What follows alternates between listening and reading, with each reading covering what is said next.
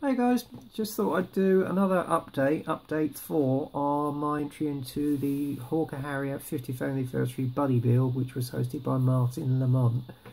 Um, now unfortunately obviously it's been nearly a month since the group build, well the buddy build was finished but I am persevering with this and I'll get it finished. Um,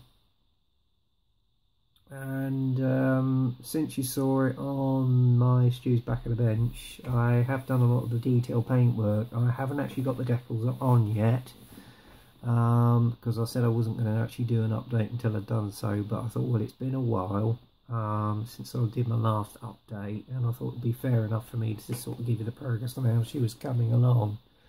So without further ado let's have a look at her. And here she is. Um, basically as you can see I've actually finished all the detailed paintwork on the actual aircraft itself. I've got the weapons load on. Um, that's all done. Um, um, I did a lot of research. Mind you I was a bit of a twit in one regard um, which I will run down with in a minute. But as you can see I've actually got the sidewinders on.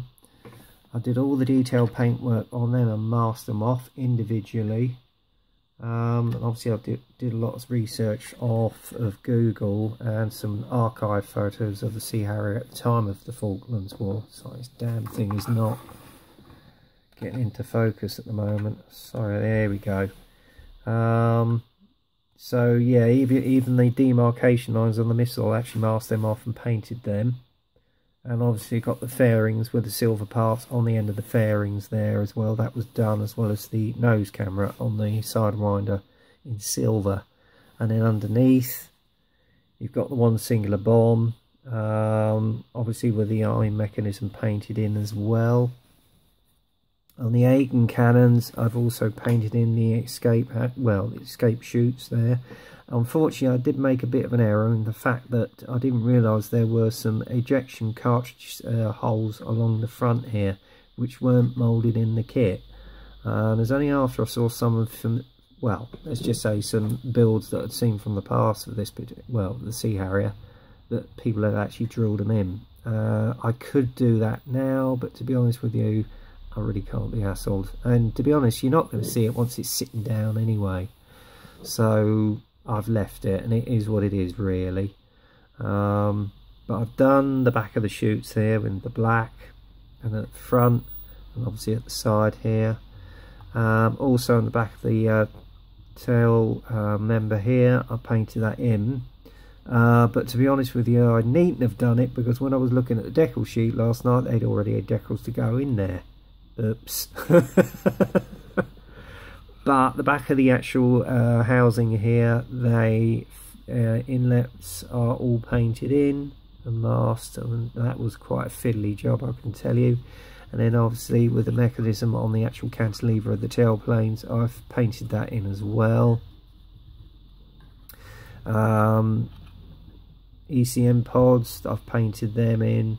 And then obviously the de-icing panels on the tailplane uh, well the rudder um, that actually I found out as, is, as a decal, but I used Tamiya's curve tape on that, and that is marvellous stuff, I have to say. Um, so I can't fault that. Obviously got the housings in where the outriggers are, that's painted on either side.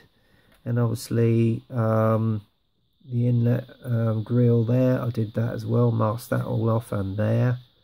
That was done uh, and obviously and then I dry brushed it over where the grill was with some silver just to give the effect of the, the grill there.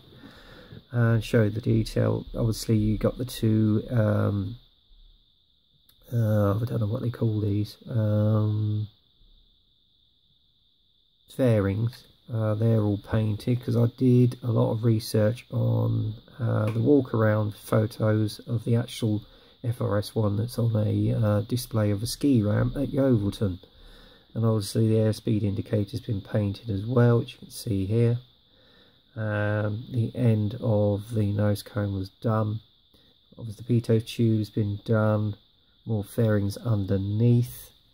Um, what else? And obviously the undercarriage bays are all painted in the exact colour, although um, I noticed on that one that Yeovilton, the back of this is actually aluminium, but I think I'll just leave as it is now. Um, what else? Obviously, you've got the housings for the uh, outriggers are done as well. Uh, what else? I think that's it on the main actual aircraft, so that was done. Oh, also, the heat shields have been painted here for the um, exhausts as well. I've done them in the iron, dark iron colour of Tamiya's. Um, so that should look good when it's actually dry brushed. And obviously I'm going to weather this up with the exhaust stains um, later on. And then put a dark dirt wash just to bring the detail out once on, after it's been decaled. Um, and do a bit of chipping on the wing tanks and on the edge of the wings because these things when they're out in the South Atlantic were getting weathered to hell. Um, you've got chips where it's gone back to the primer, yellow primer, and actual aluminium casing as well. Um, so yeah, she's going to look a bit beaten up war weary. Um, because out in the South Atlantic, you know, it would have been harsh on these aircraft. Uh, sub-assemblies have been done as well. Um, if I move the camera up a bit, you can see. I might even, yeah, we'll zoom in. Um, there we go. Let me do it? No, come on. Here we go.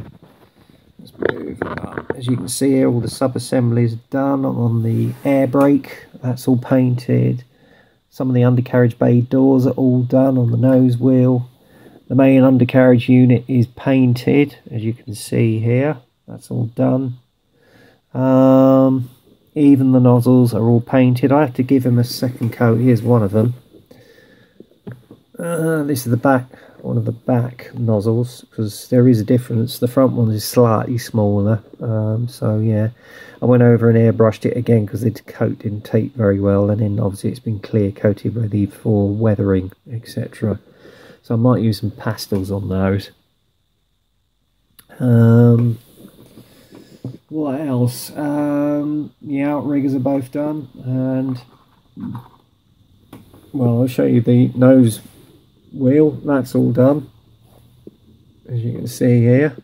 I haven't actually put the landing lights on it yet. Um, I will do that probably a little bit later down the build. Um, and there's one of the outriggers that was done. The only thing I've missed, which I discovered in the archive footage, is there's a sort of a um, brass front there on the outrigger. Um, so I'll get that masked off and painted once I've actually put the decals on.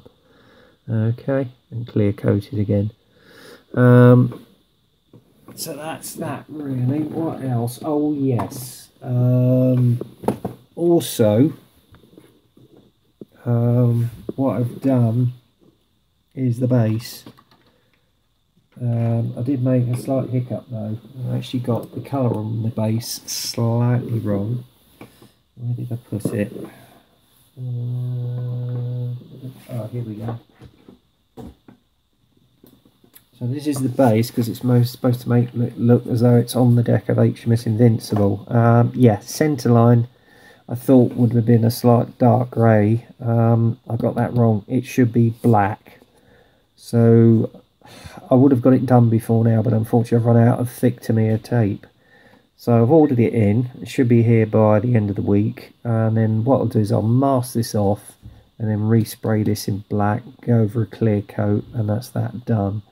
Uh, but what I'm also going to do uh, for the deck markings is I shall use the white numbers off of this decal sheet, which is coming with the Sea Harrier, and use them for the deck markings um, as well, because they're around about the right size. Um, and I'll be decaling the kit this weekend, um, and uh, the amount of stencils on it, oh boy. In the middle of it, all that lot has got to go on the aircraft. so that's going to keep me busy for at least one day, and then the main markings will go on the next day once they're bedded down. Um, But uh, where you've got the air inlets, the thing I do like is they've even allowed for that on there. So you've got, even got the individual ones that go on the actual air inlet flap doors. That's going to be um, quite fiddly, but it'll be worth it. Um, yeah, so that's that really. So that will keep me busy this weekend.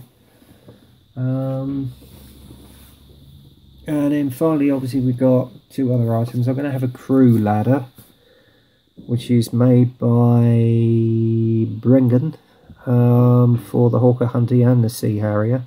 So that just needs to be folded and then primed and then painted up, and then obviously it'll be weathered and shipped, uh, and then attached to the Sea Harrier as though it's ready to be boarded by uh, the pilot. Now, the pilot of the aircraft that I'm going to be modelling is Sharky Ward. Um, and I've got a photograph of him uh, taken during the time here.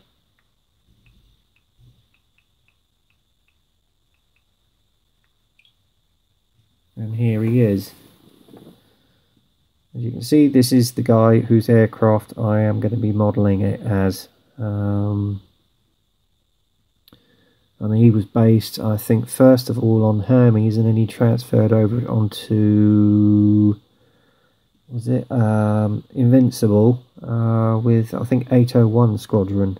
Um, so yeah, so he was the head commander in flight, commander of uh, 801 Squadron at the time of the Falklands War. And as you can see, his aircraft is standing right behind him on the deck of Invincible.